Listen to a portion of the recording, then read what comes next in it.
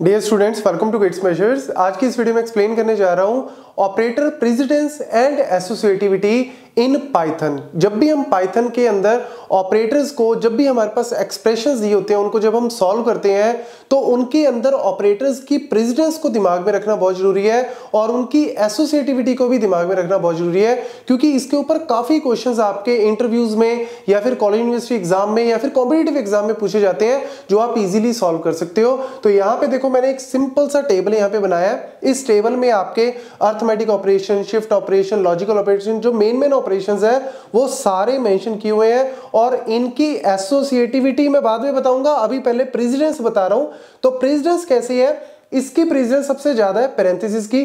फिर नीचे नीचे जैसे जैसे हम नीचे जा रहे हैं तो प्रेसिडेंस मेरी कम हो रही है। मतलब जैसे से ऊपर आ रहे हैं तो प्रेसिडेंस मेरी बढ़ रही है। आप ये भी कह सकते हो, या फिर जैसे से नीचे जा रहे हैं तो प्रेसिडेंस मेरी कम हो रही है। तो यहाँ पे सिंपल सा एग्ज़ाम्पल से मैं स्टार्ट करता हूँ। जैसे देखो, मुझे यहाँ पे सॉल्व करना है। Two plus three into four. जैसे सिंपल सा क्वेश्चन है, सिंपल सा एक्सप्रेशन है, two plus three into four. अब यहाँ पे दो तरीके हैं, या तो पहले two plus three into four कर लो, या फिर three into four plus two कर लो। तो दोनों में ही आपको लगेगा कि सर सही तो है, लेकिन ऐसा नहीं होता।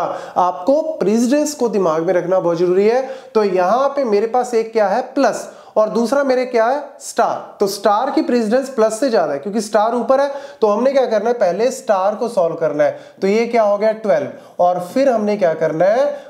प्लस करना है। तो 14 आ गया आंसर। अगर आप उल्टा कर देते तो यानी पहले क्या आ जाता? है फाइव। और फिर क्या हो जाता? है इंटू फोर करोगे तो 20 तो ये आपका रॉन्ग है। This is right answer. तो ये दिमाग में रखना ऑपरेटर की प्रेसिडेंस बहुत ज़रूरी है। ऐसी एक और एग्ज़ाम्पल आपको देता हूँ। लेट सपोज़ मैंने यहाँ पर लिख दिया, फॉल्स एंड फॉल्स और ट्रू ठीक है? ये मैंने किया। अब इसको भी दो तरीके हैं। यहाँ पे मैं एक तो क्या कर सकता हूँ? पहले फॉल्स एंड फॉल्स को करता हूँ तो क्या आएगा?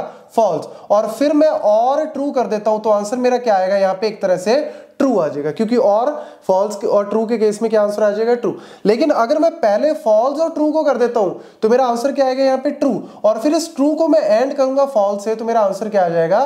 फॉल्स तो यानी आंसर जो है, चाहे इवन दो ही वैल्यूज़ है ट्रू और फॉल्स तब भी आपका आंसर चेंज हो सकता है। तो देखो, अगर हम यहाँ पे बात करें, मेरे पास लॉजिकल यहाँ पे एंड है लॉजिकल और है। तो दोनों में से किसकी प्रेसिडेंस ज़्यादा है? ऊपर कौन है? एंड तो यानी एंड को पहले करना पड़ेगा। तो एंड को अगर पहले करेंगे तो यानी फॉल्स एंड फॉल्स को पहले करेंगे।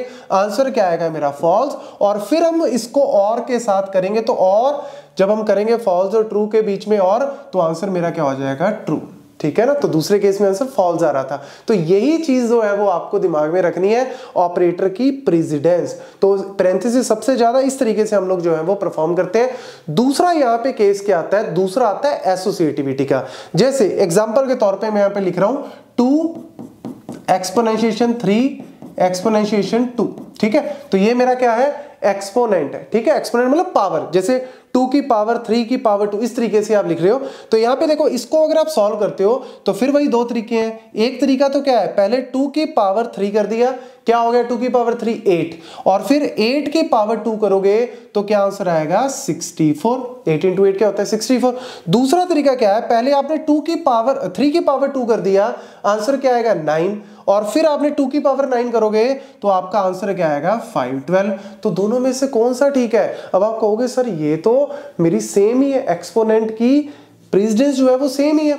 तो जब भी हम प्रेसिडेंस जो है, वो सेम होती है। मतलब जब भी हम सेम ऑपरेटर ले रहे हैं, फिर हम बात करते हैं यहाँ पे एसोसिएटिविटी की। तो याद रखना प्रेसिडेंस आपको पता लगी, अब एसोसिएटिविटी के केस में याद रखना कि जो आपका एक्सपोनेंट है, वो राइट टू लेफ़्ट है, ठीक है? और आपका जो असाइनमेंट है लास्ट वाला, जो ये असाइनमेंट है, ये भी क्या है?